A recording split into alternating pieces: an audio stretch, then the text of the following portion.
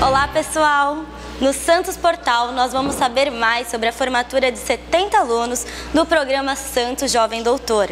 Eles estudam em escolas municipais e, a partir de agora, serão multiplicadores de informações sobre doenças sexualmente transmissíveis. E vai começar a 14ª Semana de Prevenção de Acidentes para servidores municipais. Nos próximos dias serão realizadas palestras e atividades sobre segurança no trabalho e no lar.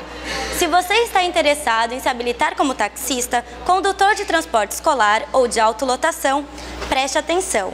A CET Santos abriu inscrições para mais um curso de aperfeiçoamento profissional para motoristas. As inscrições são gratuitas. Essas e outras notícias você confere aqui no Santos Portal. Até a próxima!